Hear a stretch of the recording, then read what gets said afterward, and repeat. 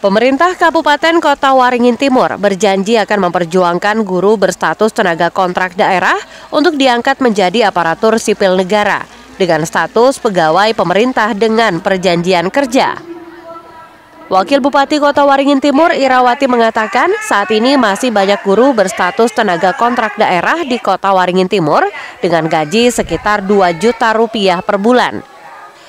Bahkan tidak sedikit pula guru berstatus tenaga honor sekolah yang gajinya dibayar dari dana bantuan operasional sekolah dengan besaran sekitar Rp500.000 per bulan. Menyikapi hal tersebut, Irawati mengatakan Pemkap akan berjuang semaksimal mungkin agar guru kontrak daerah diangkat menjadi pegawai pemerintah dengan perjanjian kerja. Untuk peningkatan status, para guru tenaga kontrak daerah tetap menjalani proses sebagaimana aturan. Tidak hanya administrasi yang dibutuhkan sebagai syarat, kinerja mereka juga akan dinilai. Karena memang kita akui masih banyak guru kontrak yang belum kita angkat menjadi P3K dan itu mengurangi kinerja mereka karena memang e, biaya kehidupan terutama di luar kota dan di pedesaan justru lebih besar biayanya daripada di kota. Jadi kami dengan Bapak Bupati intinya membantu membantu pada saat nantinya uh, ada pengangkatan guru P3K tetapi ada tahapan-tahapan yang harus mereka lalui.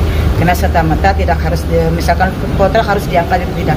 Karena ada tahapan-tahapan itu karena ada penilaian kinerja dari kepala sekolah masing-masing. Tapi intinya kami apabila di daerah kita akan menuliskan semua itu. Tergantung nanti mereka uh, pada saat melakukan tes dari pusat. Nah itu memang pribadi mereka mudah-mudahan bisa mereka mengerjakan tugas nanti yang akan dikirim oleh uh, dari pusat dengan diangkatnya guru kontrak daerah menjadi pegawai pemerintah dengan perjanjian kerja, maka diharapkan kesejahteraan guru meningkat.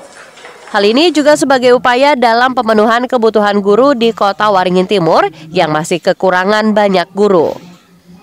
Dari Sampit, Ririn Binti, dan Mashud Badarudin melaporkan.